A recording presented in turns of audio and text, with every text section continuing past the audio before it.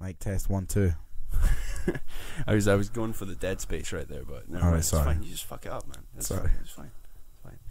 Ah, Um, whilst in here with your fucking pedo beard. oh, you know. Um, welcome, folks, to a Shadow Channel podcast. Uh, last time we did one of these, we had Ross Hepburn and his good friend and director Doug on the show. That would have been last September.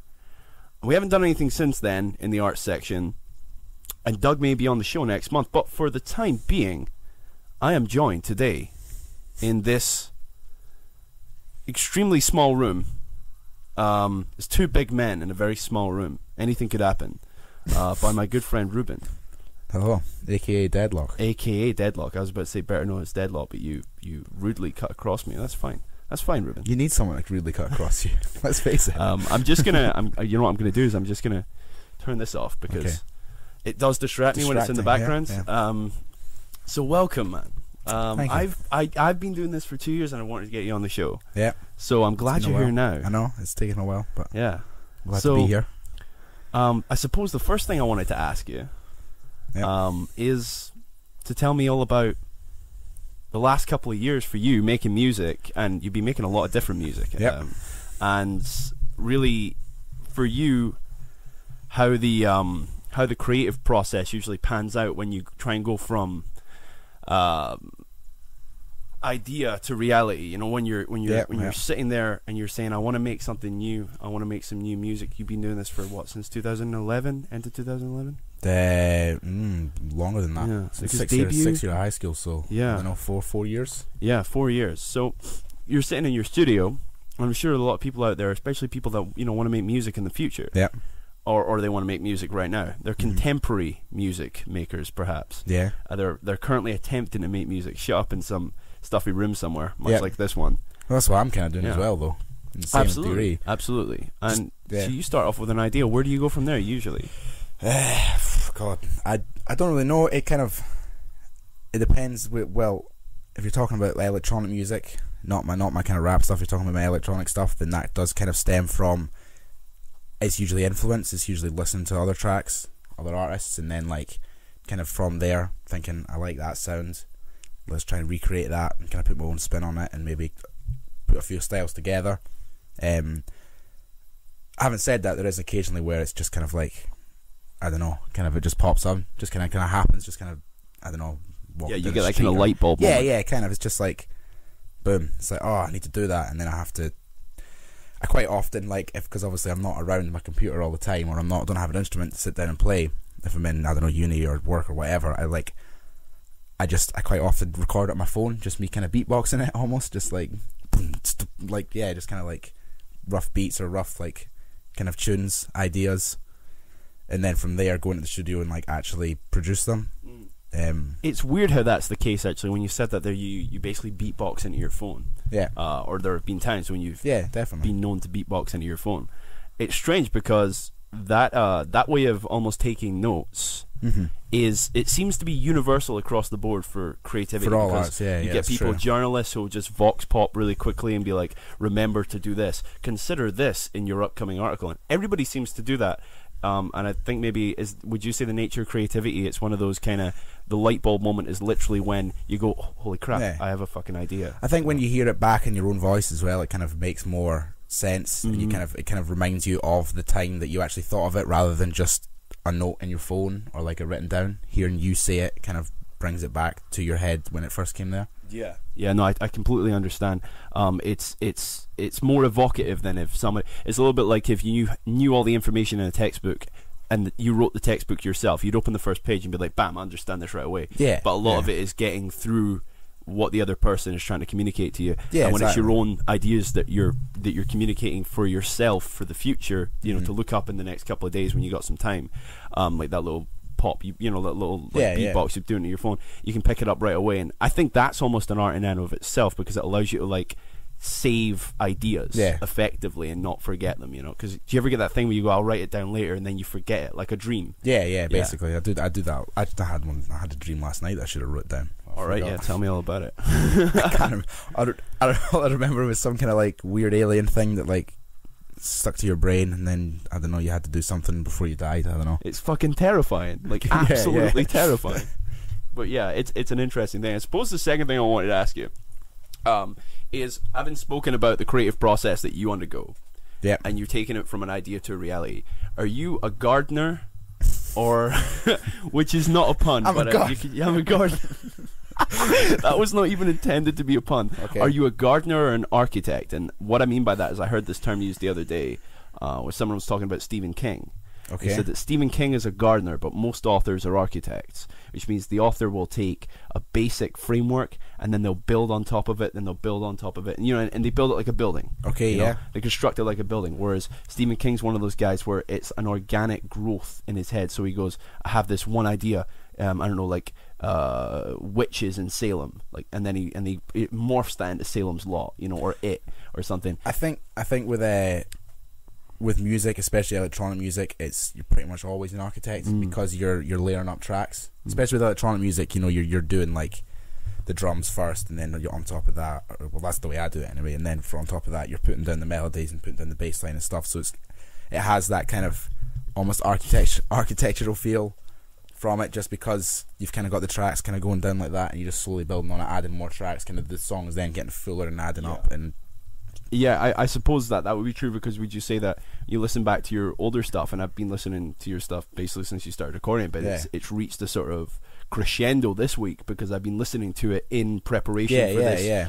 And um, I suppose your debut album, the the one that came out before Temporary Change, um, is is Yes. I suppose if you compare it to something like Atomic Monsters, it's very minimalistic, Yeah, well, more basic beats. No, like, you know. definitely. It's it's uh, it's like the first things that I did. It's like there's no more than like Yeah, like 10 Emancipation. tracks. It's Yeah. like dun, na, na, Yeah, yeah. and it's like, and it's, and that's, I think it's the same for everything in yeah. a way. I mean, and well, uh, yeah. There's still there's still Emancipation. I still think is probably one of the best tracks I've ever did. When I Yeah, look when agreed. I when I when I listen back to that, I still love it. It's still great. But you think of the EP before that, which I don't even know if you've heard. it's like it's like proper like really early dubstep with like just just a kick, a snare, a hi hat, and a wobble. That's that's literally it. And uh, when I listen back to that now, I just I almost cry. I'm just like, what what is this? It's the what was same I every time. doing? Yeah, yeah. I think the first thing I ever did was it was uh, um, well, inadvertently, the first thing I ever did was that seven-hour recording that we did on uh, Javi's phone. Okay, yeah. yeah, like years ago. But the first thing I ever did was, was a critique of the the New World Order, um, that lasted about seven minutes and involved me like very quietly speaking into my phone in my flat. and it was, yeah. but I listened back to it. and I I think I've actually destroyed it. Like Yeah. it's it's like Solomon's Temple. I erased it from history, but um, it is yeah, it is one of those things. Like, but it always starts off more minimalistically, and like technology is the same, isn't it? Like we used to live in caves, you know. But you Mm-hmm. Always no, want more, and you always want to improve, which is why people live in condos now and Yeah, definitely. bungalows, you know. Um, but I suppose the second thing, i- in, so far as that's concerned, and you, we touched on it there for a minute. You said that uh, we're basically talking about the evolution of your style over Yeah, time, yeah. and how the ability to make songs more complex almost gives you an extra weapon or an extra tool in your toolbox. Yeah, yeah, That you can utilize to create the sound that you want to create. So, how would you describe stylistically the evolution of, of, of your of your style over Yeah. time? the evolution of Deadloch. The evolution of Deadloch. Uh, well, well, I first I first got into producing music through dubstep because I was in like what 2008, 2009 when I first started listening to dubstep before it kind of got shit and mainstream. Uh, yeah, and that's kind of what made me. I just I fell in love with it instantly, and like just kind of thought, I want I want to do that. I want to make that. It can't be that difficult. I I just got myself a MacBook, so I thought, fuck it, let's do it. Let's just just attempt at it, and uh, you know that that took up my time from for the first two albums for EP and then the first album a lot of that dubstep kind of branching out house a bit and stuff and then I don't know I kind of I like to change it up quite a lot you you I mean you yourself have said that to me quite a lot that you like that's what you like about me and that's what I like about my music as well is because every EP or every album I try to change it Absolutely, try yeah. to make it different it's quite eclectic. Like um, you, uh, uh you, I mean, you're literally you're you're you're. Uh, well, I suppose having told me about the early one, Mhm. technically your second EP was called Temporary Change. yeah and that's that's Um, trance that's like it's yeah, completely it's completely different. And uh, I think is that the uh, is that the the EP that has Aurora Yeah. and uh, yeah and ah, I forget the name of the other one. Yeah, Elation. One of my Yeah. one of my I like that track. It's yeah that's that's one of my favorites as well. Um, and and from there, I suppose you you, you did you go back because because Roots came out quite recently, relatively recently. yeah. But in between your debut album, you had Temporary Change, Yep. and you also had uh, Caithness as yeah, well. Caithness EP, uh, where you had like Laser Bubbles and uh, Yeah. Pagan Crazy Pig and crazy, shit. crazy pagan shit, and I, lo- I love laser bubbles to this day. And crazy Yeah, pagan yeah. shit has got this like weird ethereal sound to it. The um, the Ancient Land is one of Mhm. my favorite ones as yeah, well. That that's quite interesting. That Mhm. that that that EP. Yeah. that EP just came from a weekend in Case exactly. And I wanted to ask you about that because, with regard, we're talking stylistically. Uh, I'm guessing that was the first time that you had specifically made a piece of music, if you Yeah. consider an, an EP or an album Yeah, to be just one big modern day symphony, isn't it? I suppose. Yeah, yeah. Which is why the shittiest albums are always the ones that've got like three Justin Bieber singles and then all the Yeah. other crappy songs that you recorded in the studio just to fill the space. Yeah. to charge the extra three quid on iTunes. But uh, that must have been, I'd imagine, the first time for you where you had taken a piece of music from a direct single experience. Yeah, You went, I went for a weekend at Caithness. I dropped some acid. And took a shitload of acid. Yeah, and I'm making this music. It's literally the Caithness EP. Yeah, yeah. and it's what was that like? Because that must have been strange to translate a one direct experience. you that was another thing we were talking earlier about taking notes on your phone. I didn't actually do that, but there was times during the I don't know forty eight hour period where we were all losing our minds that like I kind of had ideas for songs and kind of like almost like pieces of information and lyrics that were happening to me that like I then transformed into music when I got home. And uh, Louis, the, one of the guy, the guy that owns the cottage up there, he wrote like a little poem which they ended up going into ancient land and stuff like that, just about experience because it, it's well, it's a mind altering. It changes your life. It's a mind altering experience. So like that kind of like influenced that. But yeah, that I mean that I, I actually forget about that EP because because it happens so fast. With the other ones, it's usually like six or seven months to actually go into it. As well as with that, I literally did those five songs in the space of about a week when I came back because I just had this like burst of information yeah, in my brain. You, were just buzzed for it. And Yeah, you had yeah. it. You had it right on. It yeah, it was on the there, top layer it's of your like, brain. get it Yeah, it's uh, it's one of those things like uh, you you get folk that are almost a little too prolific, and I think that they, as a result of trying to get too much stuff out too fast, Mhm. can sacrifice their quality and Yeah, their style. definitely. And also, I mean, I heard uh, if you ever watched TED Talks, there was a guy who gave a speech. He said you should do you should do less and think more. Mhm. He's saying, you know, if you're if you're saying I'm going to make another EP, you're better off sitting down for three months, Yeah. thinking about music in general. Yeah, more yeah, likely to create something new next time. You know, Definitely, which is which is kind of what I did with Roots as well. Mm. Because because with Roots it was it was more of a collection of just individual tracks that I kind of had half started and built it up and kind of ideas and here and there that I just kind of thought let's mash these together and bring it out as an album. Yeah, it was like your detox, but you actually released it, Yeah, yeah. unlike Dr. Dre. um, and I enjoyed. Don't be Roots. dissing the Dre.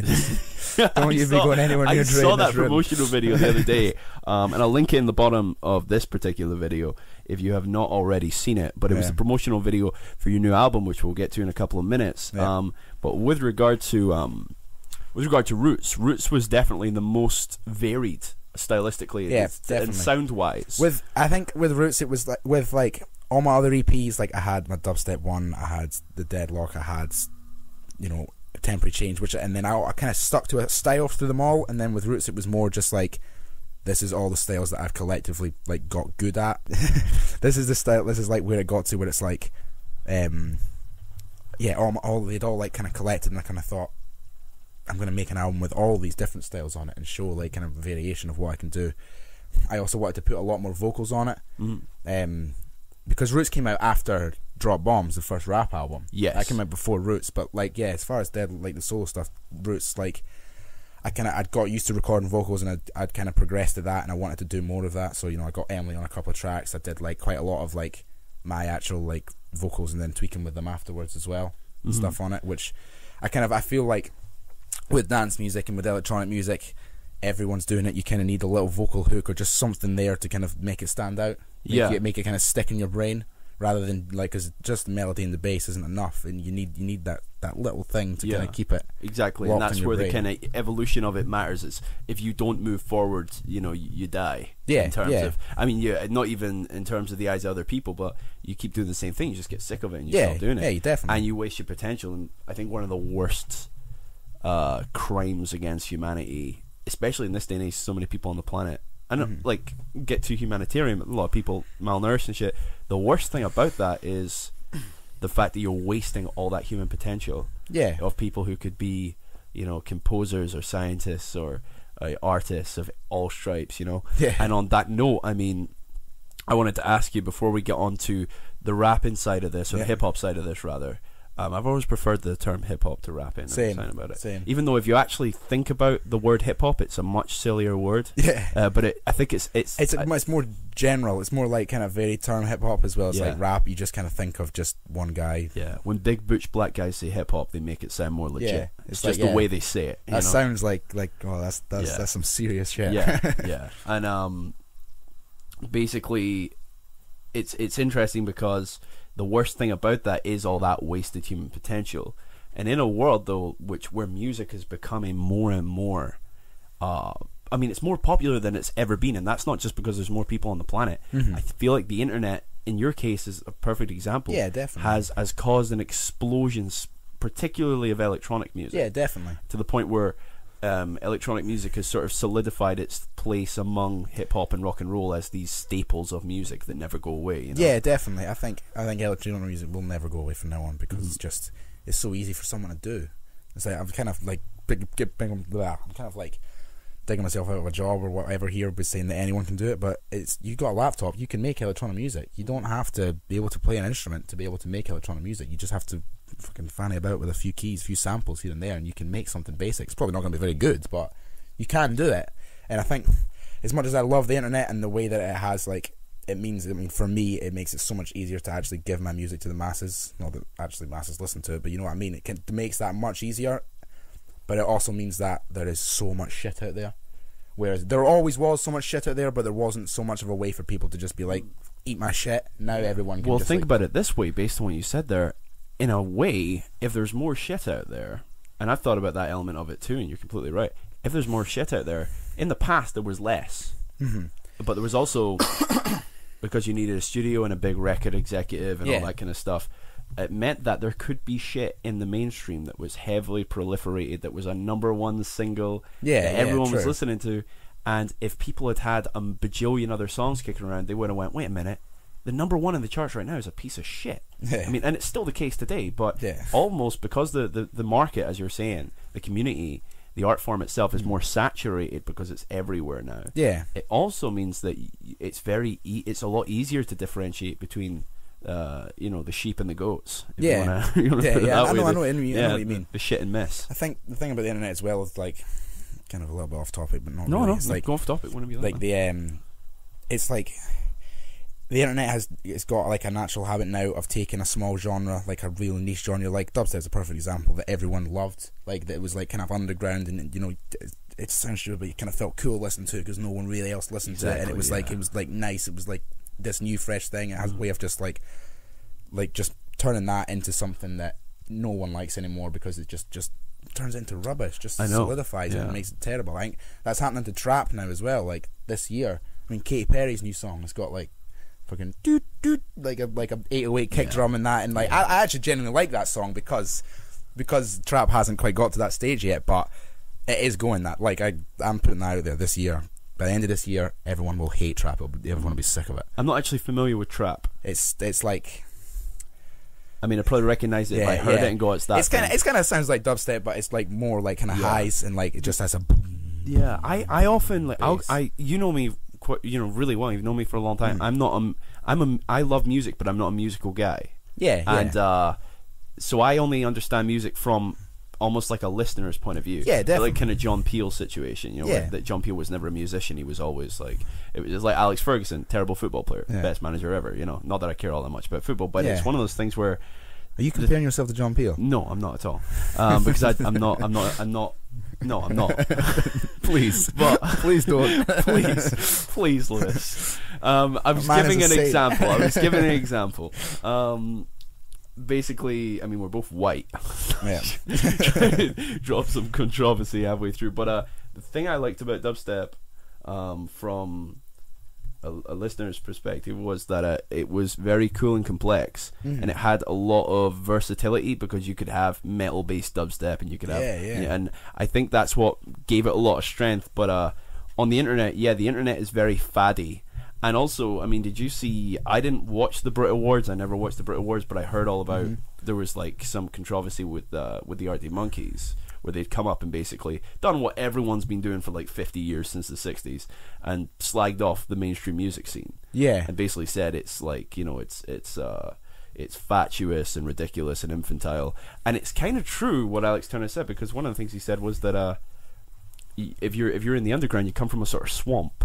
Yeah. And occasionally, some genres go back into the swamp because Yeah, the mainstream definitely. has sucked them dry, like the They Mummy do. films. They do. And he's basically saying that the mainstream is, exists, um, or or or it's a, or it's parasitical in nature. The mainstream only exists because it steals ideas from the underground. Yeah, That's the only reason it exists. It's like dubstep doesn't come out of EMI, you know. Mm-hmm. But it's but it does it does go back to it. It kind of is Uh-huh. true in the fact that you know I've I've for the past three years I've been saying I cannot wait for everyone to forget about dubstep and for it to then go back to like only the hardcore people that were listening to it back in the day are still that are still listening to it now are the only people that listen to it. And when you put it on a party, everyone again is like, "Oh, what is that shit? Turn it off."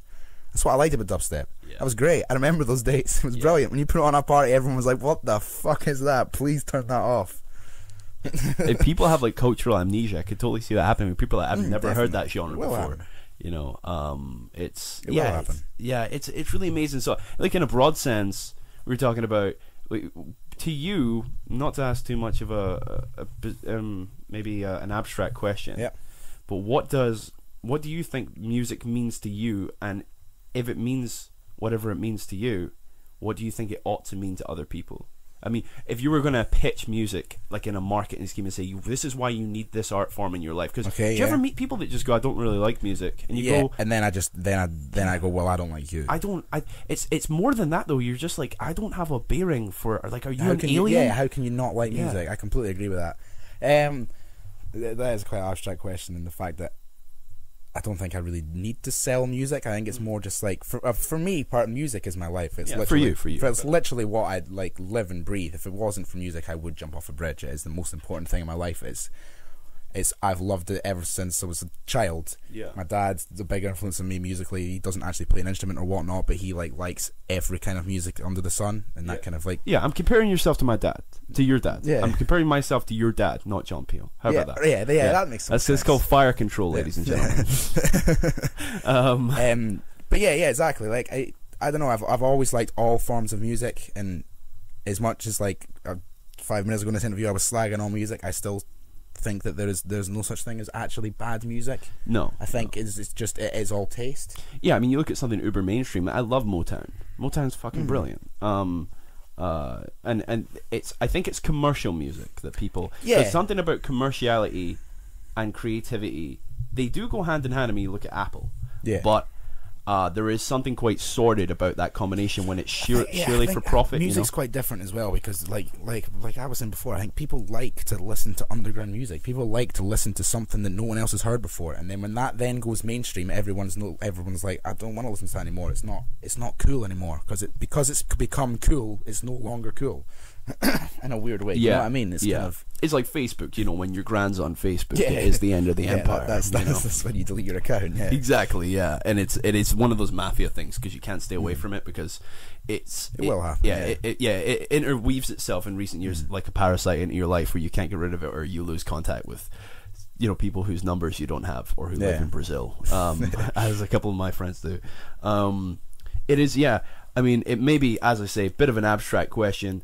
Uh, and I think that, that music, and I don't know if you agree, it, it, it has an enriching effect on all other forms of expression. Mm-hmm. So someone's a journalist, they sit and listen to music uh, while they're writing, Yeah. or while you know you listen to frickin' Vivaldi while you're uh, doing a you know, while you're sort of constructing some business deal. You know, Yeah, yeah, I mean, yeah. There's music everywhere, like in every dimension and part of our lives, and I think it's uh, it's, I think it's the, I think it's it's like it's one of the oldest art forms as well. I suppose all art for painting as well, but it's like I don't know. It's just it's it's, it's there's I think there's something quite tribal about it and something quite um human about just having that beat, just that that beat. Like it's just like work songs and just there's something there that like it just it just resonates within your whole body. It's just like that kind of like feeling of just that music. I don't know. It's kind of it's hard to explain. It's Yeah. it's, it's really difficult. It's to sort of like the it's sort of like the art that glues all the other arts together. yeah, you yeah. know, for for uh, me personally, yeah, definitely. Yeah, it's and, and I think that's one of the reasons it's so important. So I think we should jump forward Yeah. um, to uh, your essentially the the hip hop side of your your Yeah. your musical um, tastes Yep. and expressions, and you explained obviously uh, the promotional video the other day, surprising no one ever, uh, that one of your biggest influences is of course Dr. Dre. Yeah, he's, he's And- probably he's like the only one. Yeah. and, in a weird way, like I do like other hip hop, but for me, it's like if it's produced by Dre, it's, it's gonna be good, Do you think that Dr. Dre is a better producer than he is a rapper? one hundred percent. Yeah, I think that's why Dr. Dre is so important. I still think he's a good rapper. Oh, but he's a great But rapper, I think I think he's he is he's a producer to me. He's a producer, Yeah. not a rapper. Yeah. Like yeah, definitely. I mean, Yeah. he, he produced Eminem, who is the pinnacle of rap. He exactly. is like number exactly. one. He produced most of Eminem's albums. Eminem's a better rapper than he is, but Eminem also produced Recovery, to, Which is to, his to some album. extent. Yeah. It's. I mean, it's it's it's a decent bit of music by the standard of a lot of other oh, people. Oh, if you were to compare them to Eminem, but by oh, Eminem's standard, yeah. it's not that great. Oh yeah, I think Recovery is Yeah. probably as far as like the actual like every album in the world's concerned is probably in the top 100. Mm. And Marshall that Mathers doesn't mean to say that Dre. it's terrible in comparison to the Marshall Mathers LP. Exactly. Yeah. Is Part Two Dre as well? Uh, Ma- Marshall Uh, Mathers Part Two. No, that's that's a combination of it's actually Rick Rubin, Yeah. Mhm. uh, Dre, and him. He's the old guy in the music video, isn't he? Yeah. Rick Rubin's like a really famous producer. He did Yeah. he done a he did he, I think he did Run DMC. He did like a little bit of hip hop here and there, but he's he's done like he did like System of a Down. He done a lot of like rock music as Mm. well. Yeah. He's like you'll honestly you'll be surprised when you look through your music collection how many Yeah. albums were produced by Rick Rubin. I wikied him and I was fairly surprised, but I Yeah, can't remember a lot of the ones. I was like, It's oh wow, he did that and he did that. It's like um, I discovered a, uh, I forget his bloody name now. Oh, he's completely uh, jumped out of my head. Do you ever watch Jingle All the Way? That guy that all these cookies, you know that guy. You know Arnold Schwarzenegger was trying to get the toy for his kid. Oh yeah, yeah, yeah, yeah, sorry, and yes. the guy with the glasses that's trying to fuck his wife. yeah, yeah. And, he, and he- that guy, uh, Phil Hartman, Mhm. he's an inc- he he died in the nineties. He got shot in the head by his wife while he was sleeping. But I was like, oh, it's the guy from Jingle All the Way. You look on his page, he's like one that kind of Rick Rubin situation. Yeah, you yeah. look at, it, you go, this guy is he's in everything. He's Troy McClure. Yeah, yeah. Simpsons. He's so famous. you Yeah, know? yeah. Um, and and it's yeah, it's one of those similar things where it's like fame is a weird thing because sometimes you never hear about someone and they could be incredibly influ- influential. Hmm And you'll hear about you know someone else who has actually got a lot. You know, you look Yeah, at like the. X Factor or the Big Brother or something. But um, in terms of yeah, the hip hop side of it, I mean, it was October of 2012 that you and Tom Yep. released um, Drop bombs, not bombs. Drop Bombs Not Bombs. And um, for one thing, I've always wanted to ask: is that um, title just supposed to be humorous or?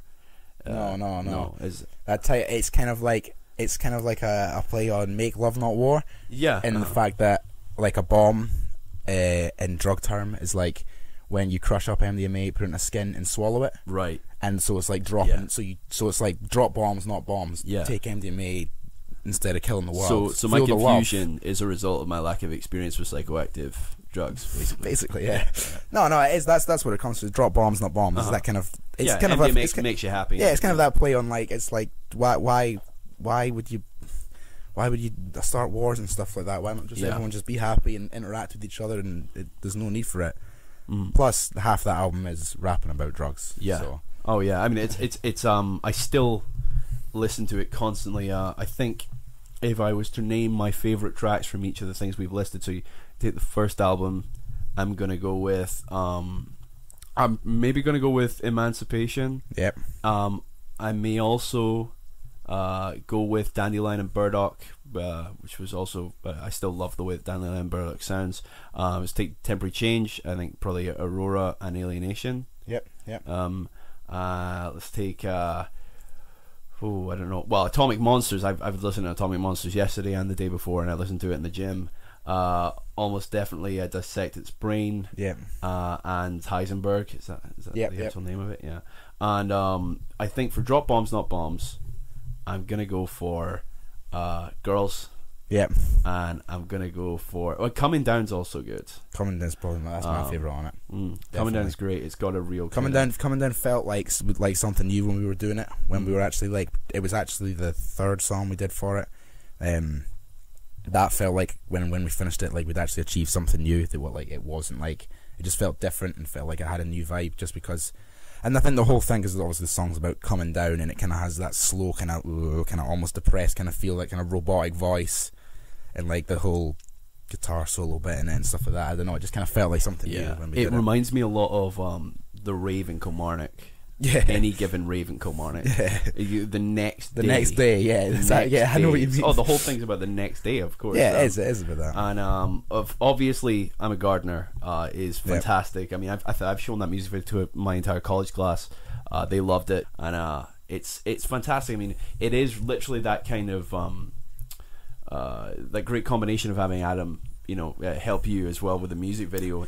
Well, and yeah, yeah, I'll, I'll, I'll kind of not go off topic. About that, but I'll kind of go into that Yeah, because of course, go because that uh, it's funny the way that happened because me and Tom were never going to do a rap album. Like that was never anything that the, the whole it all started with Adam coming to me and saying, "I've got this idea. I want to do a fake rap video about gardening." Um, because he did this little video called Clumsy Gardeners, and he wanted to do a Yeah. fake. He wanted to do a fake rap video about gardening, and I was like, okay, well, I could definitely come up with a backing track, and probably I could get Tom to help us out with lyrics because he's he does creative writing. So like we thought, all right, we'll come up with that, and then we we recorded that that whole song, and then on the way back, like from like Dundee, because obviously I was producing my own electronic music, so I had all the stuff to record it with. Mm-hmm. And then on the way back from Dundee, we were like driving back, listening to it, and we were like, "Man, this sounds really good. This actually, this, this actually sounds amazing. I'm really looking forward to the video." And it was, and it was like a few days later, I was speaking to Tom, and I was like, Tom had a couple more ideas for tracks, and I was like, "Well, let's let's do an EP. Let's let's let's do an EP." And then that progressed into an album, and then by the Mm-hmm. time we'd actually got round to filming "I'm a Gardener," we had 14 tracks. yeah. So we were like, "Fuck it, we'll release an album with it." Like, So you said earlier, you, I mean, with regard to electronic and your sp- style specifically, you are an architect as opposed to a gardener, ironically. Yeah. Um, and you should definitely release a track called "I'm an Architect." Yeah. Just have you like throwing bricks at children, um, but uh, it's it's so it did progress directly from being a sort of oh let's try this little thing oh let's make an EP oh let's make an album yeah, yeah. um, and I'm also I'm also trying to think. There's another track on there that's an actual jewel uh, that I that I still that I still love. I think it's probably it's not Albo Gebrath. Um, it's something else. Cannabis VIP. I think it could be. Yeah, I think it is. Uh, no deal. Is it deal or no deal? Deal or no deal? Yeah. Deal or no deal is a great track. Um, Yeah, lyrically, it's a fantastic track. Um, Again, like like one of the things that Adam always says, and that me and Tom always say about about that album, that what I really like about it is the fact that it's all true. There's nothing on there where we're actually like lying or like trying to be gangster or anything. Anything, everything we say is all true. We just like kind of almost slant it in a way to make it sound. It was surreal for me because I was like, oh shit, I remember. You, Alec you Val. remember that guy? I you remember know? Alec and Val. Yeah, Yeah, I remember yeah. that shit. Remember You know? Kaz. and there's like, oh Horace, what he jumped out a window. I fucking remember. yeah, that. you remember well, I wasn't there, but I remember hearing about it at Yeah, the yeah, time. you know, exactly. It's, it's sort of weird, but it's. Uh, I think it's something that uh, what you're talking about though is completely relatable to anybody who does Yeah. not know you personally. Yeah, definitely as well. And I, but I think it's also that thing where it's like rap or write, write about what you know. There's no point in like trying to make shit up. yeah. Just do what you know. Exactly. Yeah, yeah. You got to stick to what you know, and it's uh, uh, on that note. Actually, we should probably talk about the upcoming album, if Yep. you would like to talk about the upcoming album. Is there Yeah. anything else you want to talk about? Because I wanted to leave this as the crescendo Yeah. um, of Um, this particular discussion. I don't really know. Yeah, kind of. Um, I just kind of want to maybe just kind of big up Adam a bit because you know he he's he was great. He's the one that came up with the idea and whatnot, and uh, he's been great support through it. It's still one of my number one fans as far as that album's concerned. He loves it. He's um, we've got plans for a couple more videos, but they're kind of slowly happening, not Yeah. happening. It's kind of we were planning on releasing one with this new album, but we kind of never got around to it just 'cause it's time consuming, man Yeah. it's time consuming and it's like it's gardeners was easy because because we had all the equipment there and we had a location set and like we found the two the, the two new ones that we've come up with it's like we are going to do one called brush your teeth Right. which was going to be a, a, a fake rap song about how important it is to brush your teeth Right. but we decided we don't there's no point in doing this half-assed if we're going to do it we need to have scenes in a dentist chair Yes. but it's but you couldn't we couldn't we got in contact with all the dentists. I got in contact with the uni dentist dental, dental school, and just no one would let us do it. They Really? wouldn't let you in, and that's that. It kind of really pisses yeah. off. And what reason did they give? I'm, I'm trying to envision what the hell what Because fucking just- problem dentists have Just with people well, the, making de- music the, videos. the dentist because because they they're open like what's uh, nine hours. Uh, they're open from such from eight till five or whatnot. Yeah. So they can't do it then. We'd have to do it after hours. And for us to do it after hours, someone would they couldn't just let us in. Someone would have to stay there with us. And no one's just no one's willing to do that. Yeah. Because we'd have to be there for a wee while. Like gardeners, we did it over two days. It's like Yeah. we'd be there for at least like four or five hours if we Uh-huh. wanted to get the shots. It would have to be a real dental chair, not like a barber's chair. Yeah, exactly. like It's, that, I'd have to. It, I think we, we we said when we were talk, talking about it, we are saying if we can't do get the dentist chair, we're not. Do, no, let's not do it half-assed. Let's Yeah. not try and green screen it or try and do anything Yeah. like that. It's just there's no point in doing Yeah. it if we can't do it Yeah. right. You're on like a floating digital chair with Yeah, it'd be exactly. It'd be like. Tron Legacy with freaking you know cavities. And we've got we've got a new one that we are going to do. I won't say anything about it because I don't want to ruin it, but we are we are going to do it. It's just it's just we were hoping to do it with that release of this album. Yeah. But, uh, me and me and Tom were, were kind of it was finished. We are like we need to Uh-huh. we need to just get it out. I just I really want to release it. So Yeah. we are like we'll, we'll do the video at a later date. Uh-huh. And on this upcoming album, I wanted to ask you. Uh, you have worked with, I believe. Well, I mean, you've worked with a lot of guys. I mean, I mean, you worked with Murray back in the Dying to Young days. Yeah. Uh, but of course, you work with them with the Itchy Assholes as well, which is something we didn't, or Yeah. Arseholes, which is of course what we we haven't actually mentioned the Itchy Arseholes, which Yeah. is um, just just as a heads up, folks. Um, the the name of your your kind of organization is Deadlion right now. Deadlion beats, yeah. Yeah, and um, uh, there's been a few things featured on that, and among them, I believe, were the Yep. Itchy Arseholes. Yep. yep. We released a four-track EP, Three tracks, yeah. um, three tracks. Uh, I can't remember the other two tracks, but Underage Drinking, which is Underage, yeah, track, underage yeah. drinkers, germs, Uh-huh. and hang 'em high. Yeah, uh huh. And I, I'll also link that in because it's um it's very different to the other stuff you did because it's Yeah, more just it's more just uh well I mean it really is going back to your roots because Yeah. it's just rock you know Uh, so yeah, rock it is punk rock. Again, that again that uh, you say what we worked with Murray on that. We didn't. We didn't work with Murray. We've had like two practices. That all the drums on that are like electronic drums that I've done myself. Right, so It was like- Murray is in the cover for that. He's right, on the yeah. cover for it I because, thought I was we wanted I thought to I was tripping there. Was no, like, well, what- we wanted what- to make it seem like a real band, and we have had a couple of practices, and we're Yeah. talking about doing a gig in the future. So you had a point. virtual drummer. It was all a sham. Is that what Yeah, me? basically, yeah. It was like I I went into Murray's house and gave him the EP and went, "You're in my band. Right. Here's three songs. You're in my band," kind of thing. And like he was like, "Okay." So yeah, yeah. So it's like he, he was he is involved. Like we have had a few practices. We know all Yeah. the songs. We are going to do a gig at some point. We want to write a few more before we do a That's gig. That's great. I definitely want to see that. Yeah, Um, yeah, I prefer it to. Yeah, I was never a huge fan of uh of um. Punk or Dying to Young. Uh, uh, well, no, you know, for the fact that my mates were in the band, it's great. Yeah, know. yeah. No, no. to- to- it was very niche. um, but it was for me uh, stylistically it wasn't really my thing, uh, Yeah, or genre genre wise wasn't really my thing. But I love the Itchy Assholes. It, um, it was it was great. And, I think um, again, it's that kind of like piss take lyrics as well. It's Yeah. like funny. yeah, it's more- yeah. it's There's more a lot more of that. I think really, really in a weird way, like Lonely Island kind of changed the Oh, game. definitely. Because there had been spoof songs and SNL and you know Saturday Yeah, Night. Live and all that, but they really, really blew you know that really they, took the were the biggest influence for gardeners for me Yeah. anyway. Like when when that was what gave me, I was like I wanted to kind of be like the Lonely Islands. Yeah, yeah. No, I, I mean that was. I, I felt like uh, lyrically it was it was of equal complexity. I mean, like, uh, it, did you say that? Can I get a drink Yeah, of course, of course. Yeah. um, it was of it was of equal uh, complexity lyrically to anything that I've seen them produce. I mean, Yeah, it's yeah. Uh, so you said that Tom wrote the lyrics for that, which is fantastic. well, no, me, me and Tom wrote the lyrics. You and Tom wrote the Yeah, we lyrics. yeah, we- I remember uh, speaking of of uh, drop bombs, not bombs. I remember you showing me really rough like beta material in the summer of that year. Yeah, yeah, And I think you you played a snippet from Girls yeah, when I was at your house, and I was like, "That sounds amazing." But I remember forgetting about it. Yeah, And it yeah. got to October, and it's like, "Oh, did your uh, Ruben released a, a hip hop album?" And I was like, "All right, wait, wait, wait did you say a hip hop album?" Yeah. And then and uh, I think it was Sean or someone. It was like, "Yeah, yeah, they've got up on Facebook or something." I was like, "I'm gonna listen to this."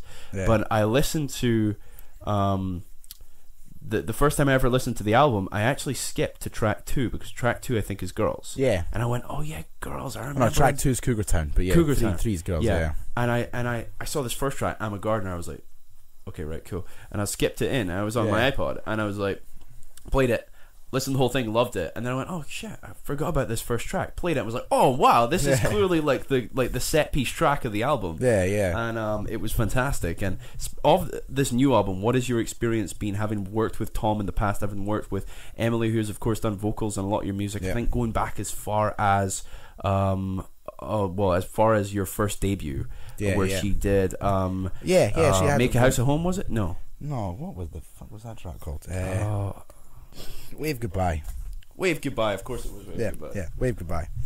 Yeah. Um, yeah, no, that's great. Uh, working with Tom, Tom's like my best mate. You know, it's, it's just it's, Yeah. it's just a laugh. It's like coming to mind. or I go into his for the for, for the for this album. It was how you come into mine, but for Drop Bombs, I went into his quite a few times just with my with my equipment. Yeah. recording his like little shed. But um, yeah, no, it's great working with Tom's brilliant because it's just like it's just like hanging out with your mate, but just like kind of joking about, writing lyrics together, kind of laughing about them, stuff like that. Um, it feels I quite like I quite like um working with other people because it means I get to sit in the producer chair more. Yeah. Do you know what I mean? It's like it's it's I get to actually like kind of almost get my kind of slant on what they're doing. Exactly. Yeah. You have a Um, more detached perspective. Yeah, exactly, and it's it's kind of better like that. Emily's great to work with as well. Um, yeah, I've worked with her for God knows how long now as well. So yeah, she's fine to work with. Um, on this album, we've got two other people, well, three new people on the album. Mm. We've got Kyle the rapper, Yeah. who's a good friend of mine now. Um, he's brilliant, really good Scottish hip hop artist. Go check him out; he's brilliant. Um, and then we've got I've got Gav Duncan, who was actually the singer in my band Letters from Above in Dundee. Right. Yeah. I think in I have actually met Gav. Yeah, you probably head. have met him. Yeah, um, yeah, I had him on it. He he he he does uh, the chorus on one track. Uh, he's got a really good like kind of singing voice, and then we've got uh, Tom's mate Stash Rooms. Stash Shrooms. Yeah. That's a fantastic name. I mean, you, you of course you'd collaborated with another person um, in Roots. Uh, I think it was Rinzo. Yes, I forgot. yeah, yeah. that. Rinzo, yeah. was a. I think he was. Was he the only collaboration Yeah, he did was. with Roots, yeah, other yeah. than I think other Emily. than Emily. Yeah. Um, and yeah, so that's fantastic. So you've got three collaborating musicians coming in on the on this new album. And um, how how long roughly have you been working on this new album? what uh, from the Give mind to the mouth? Yeah, from the mind to the mouth. Uh, God, a while. Like uh, one of the one of the tracks on it, like which is called Cave Nest Life. That we've literally had that track since about a week after Drop Bombs was released. Yeah. Um, well, I've been working on it for a while. As far as like actually properly, like right, we need to fucking sit down and do this. Yeah. Since like the start of last summer. Right. Yeah. Yeah. So it's. I mean, it's basically been intensively in the works for about nine months. Well, sorry, for about six yeah, months. six roughly, months. Six rather. months has probably been intense. Yeah. in works. Yeah. Yeah, and I, it's very rewarding the creative process, isn't it? Mm. Because it's one of those things you'll obsess over and worry over, but you'll make Yeah, this yeah. breakthrough, and you're just like, it's the Definitely. best feeling. It's kind of hard because me and Tom live in different cities as well, and it's like we don't really see each other very often. And when we do, it's like with everyone kind of getting fucked. So it's like it's kind of hard to like actually talk about creative process. It's kind of Yeah. But yeah, so it's like we have to we have to make the time. You know, he works. I've got uni. Like you have to make the time. Like you need to come at mine this weekend. and We need to do this all weekends if we're going to get anything done, kind of thing. So it, it is it is quite stressful at points, but it's it's, it's good. It's, it's great fun because it's, it's just like having a laugh with your mates. But it's just I think it's when it's like you're doing a whole album and you kind of like recently as well because like we kind of we put a release date release date. Yeah, it's going to be the 17th of March, Yeah, I believe. yeah, we uh, St. Patrick's Day. Yes, is. Yes, um, uh, which is a great time to release an album. But um, what I wanted to ask is, yeah, you, potentially you want people to listen to it Mm-hmm. before they go out on St. Patrick's Day. Yeah, Because I, work in YouTube a lot, and yeah, yeah. the time that you, I often will think ahead and go, right, I want to li- release this so that before someone, someone wakes up from their kind of night out the night before Yeah. on the Saturday, and they're having like their eggs and bacon. Um, and I release a seven minute heads up display or something. Okay, yeah, yeah. For like seven months or something. Um, that that's like that little time chunk. Yeah. You give it to someone when they're about to go out at night and go listen to it. You know. Yeah, yeah. Um, and yeah, so it's, it's it, that's that's a great time because a lot of people go out on Paddy's Day and you want them to have some be, be geared up for it. Be, Yeah, you exactly, know, be, exactly. be pumped up for it. Um, and I mean that's as we were talking about music earlier. That's why it's so important. It can really invigorate every definitely. aspect of your life, and um, and it's and it's also a it's also like a a, a, a medicine, Mm-hmm. you know, uh, and it can sort of heal to some extent, which I think is wonderful. And um, so stylistically, this upcoming album, Yep. um, how would you say, and you not to give too much away, how would you say it differs stylistically from the last album that you released specifically on, in the hip hop genre? Um, I think. Well, it's kind of the the the um the subject matter is the same because at the end of the day, me and Tom haven't exactly changed in a year. It's still sex, drugs, and hip hop. Yeah. But I think, like, obviously, I've got better as a producer. I think both of us have got better lyrically, better writing. Um, as far as sounds concerned, it does sound very similar, but I think it just sounds better. I don't, I don't, really know how to say it. Um, we al- we've also tried to do a lot more Scottish hip hop. I mean, Tom doesn't put on an accent for the whole album. There's not a single track that Tom puts on a different accent. He's just rapping his entire accent. I do it like twice, Um, but that was older tracks. Uh, to be honest, if I had the time, I probably would go back and re-release them and redo them in a Scottish accent. Yeah. Um, the next one, if we, we are, we are going to do the next one. I don't know. Obviously, there's nothing in the works yet, Yeah. but like we will do another one, all Scottish accents because I think the Scottish hip hop scene isn't that big, but I think it's like play to your strengths. Like it play like don't deny who you are. Like don't put on why why put on an American accent when you've got a Scottish accent. It's like it's like it's that same thing. It's like if you can't if you can't provide um, art for your own people, then what what chance have you got providing art for everyone else? So it's like you might as well. And in addition to that, people are, I mean, people are well aware of this that musically, you find it less and less, I think, with rock and roll. Rock and roll, especially in the north of England, Mhm. since the 80s, has had the balls to really come out of it and Yeah. say, no, this is the way we, we speak, this is the way that we. Yeah, we definitely. I mean, there was an, a, a documentary that I'm pretty sure you saw as well. I wrote an essay for it um, for my English class a few months ago uh, called "The Great Hip Hop Hoax." oh, absolutely And brilliant. It's uh, I forget the name. It's Gavin and Mark, I think. yeah, I can't remember. And uh, that, their whole Silibil N' Brains. yeah, Silibil N' Brains. Uh, they released a new music video, which is it's really gory. It's Yeah, yeah, it's good. It's pretty good. Um, and basically, uh, it's it's like a little snuff film, isn't it? It's all Yeah. like sick stuff, you know. But it's um, uh, they, they their main thing was that they were they had a lot of anxiety about their accent, and although I did read um, something somewhere that there's a lot of evidence that one of the main uh, origins of hip hop hmm because a lot of Scottish people left Scotland and went to America to become slaveholders, Yeah, that the reason that hip hop, some of its stylistic origins come from the old clan rivalries, where what would actually happen is in a sort of Celtic thing, hmm uh, the Celts were famous because if they were going to have a fight, and Celts still do this because we're Yeah. still a Celtic, you know, Scandinavian culture. Um, they'll sort of go, you know, like they used to stand in front of each other, like flex their muscles, talk about like I'm descended from this guy and this guy, and like like Ragnar Alright, the Great, okay, and yeah, he was a hard mean, guy, yeah. and this this is like my respect and my lineage. And basically, that's and basically what they would also do Yeah. is in the Scottish Highlands they would speak really fast at each other. I forget what the word they used, and it's basically the origins of rap battles. yeah, yeah. Um, that's that's kind of weird. And I- it's weird. That it's ironic that Scottish people with hip hop, because there's actually a lot of uh, anthropological evidence that there is a lot of Scottish hip hop out there. It's culturally hip hop has Yeah. a lot of its origins in Scotland. Yeah, no, there is, there is. There's loads. Like, like I said, for, for me, I mean, the only one, the only guy that I actually know personally is Kyle the rapper. Kyle's, and he's phenomenal. He's absolutely brilliant. Like his, his both his. I actually produced his newest EP. Um, yeah, he did. That's fantastic. What's it called? Uh, it's Cherub. Right. Okay. Um, I will also link that in the Yeah, yeah, yeah. No, definitely, Uh-huh. like, 'cause he's brilliant. Um, yeah, I produced his newest EP. He's great. Yeah, I, I think there's there is a lot of Scottish hip hop. It's just it's just not even that. It's not even that big in Scotland. I mean, I remember I was working at the Mussel Inn this year in the kitchen, and I put on "Drop Bombs, Not Bombs" because a few guys in the kitchen wanted to hear it, and like some of the waiting staff coming in and out of the kitchen were like. What the fuck is that? I was like, "That's me. It's Scottish hip hop."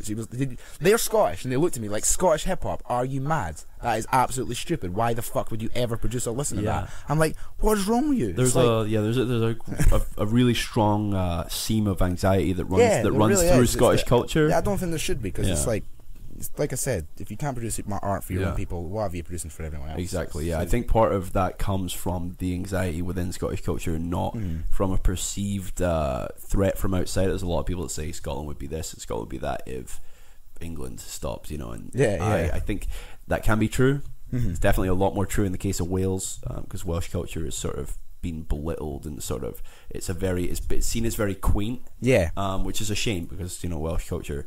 Um, but uh, I think in the Scottish case, yeah, there's a lot of it does come from just a lack of self belief, and Yeah, people are willing to say, "No, that sounds crazy because it's in my own accent." I think it's very important to believe in yourself. You know, I think I think Scotland is kind of it kind of it has this thing where although we think we're amazing, we're also like serious pessimists and that we don't believe that we can actually achieve something. Um, I'm not going to go into it, but think that's the same kind of thing the independence vote that yeah.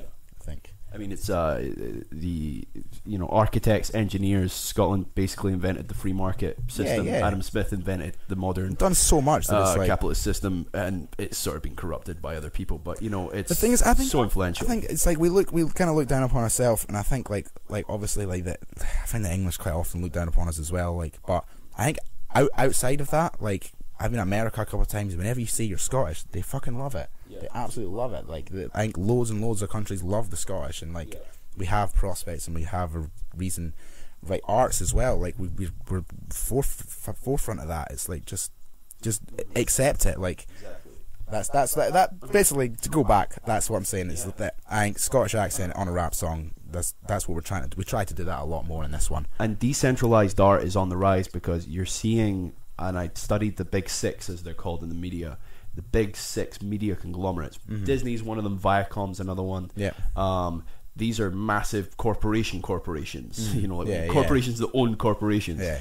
and they run most of the media you're seeing a huge decentralization like have you ever seen House of Cards Yep. House of Cards produced by Netflix Yeah, yeah. and there's a huge groundswell of change as we're talking about the internet happening in media and music is media Yeah, like yeah. everything else like film is media and um, british film industry expanding massively harry potter actually did it a lot of Yeah. favors because it's become too expensive to produce films in california Yeah. and so we're talking about this regionalization of art I say ten years time, with the help of Deadloch, with any luck, you're gonna you're gonna have someone come up to someone else and say, "Are you listening to American hip hop? You're not gonna listen to some Scottish hip hop? Yeah, really, yeah. really? No, are I you that? It has grown. It has grown you know? even in the past like three years. I've noticed that more people Yeah. are listening to it, more people are into it, more people are accepting that it's actually happening, that it is a thing. And Mm-hmm. yeah, exactly. Like I hope it does because it's great. Some of the some of Scottish hip hop's amazing. The only problem is they do quite often like conform to cliches. Like all they rap about is like Bucky bottles. Yeah, yeah. There's a big problem with that in Scottish film. uh, Like a legitimate criticism that was raised by I think Ian Rankin, who Mm-hmm. said, "You're going to make a film like Filth. Film like Filth is fantastic, but you don't need to harp on the Scottish thing. Yeah, you don't. people, you don't, need to. People already know who you are. You don't need to Mm-hmm. to do that. And I, uh, I, I man." It's been fa- fantastic talking to you. Yeah. I've waited two years to ha- to sit Yeah, down yeah. and have this kind of conversation with you, and I hope that you come on the show again. And I hope very much, if he's listening, that Tom's interested in that as well. Yeah, yeah, So I'd much like to have Tom on the show. Yeah. Uh, in addition to your good self. Yeah. Maybe this time next year, maybe Yeah, before then. yeah, you never know. Uh, so thanks Well- a lot well, for coming on. From the mind to the mouth is Deadloch's new and upcoming album, Dan.D.Lion. and Deadloch and Dan.D.Lion. um, or Deadloch and Dan.D.Lion. Dan.D.Lion and Deadloch. You can use them interchangeably, but they will be written a very specific way on the album cover. They are. So- it's, no, it's Deadlochs comes first. Does it come first? Deadloch Yeah. comes first. I take default building selected. Um, um, so thanks a lot for coming on, man. That's going to be out March seventeenth, and it's going to be on. It's going to be Dropbox or it's going to be Bandcamp. It's gonna be Bandcamp. Uh huh. Um, um, yeah. excellent. So I will Cheers. post all of those links in the description. Thanks a lot for coming along, man. I uh, I really appreciate it. Thanks for having I'll me. see you guys later on. If you want to check out any of Dan.D.Lion Deadloch stuff on social media, do you have a Facebook page, Twitter, uh, YouTube? Yeah, no, you, um, go like Deadlion Beats Uh-huh. on Facebook. Yeah, go like Deadlion Beats on Facebook. I entirely concur. And you're also on YouTube, and that's youtube.com forward slash Deadlion Beats. Beats. And if you can't find it that way, just type in Deadlion Beats into Yep. uh, the search bar. I've tried it myself. It's one of the first things that comes up. Yeah, yeah, it does. Um, so, yeah, thanks a lot for listening, folks, and I will see you all later on.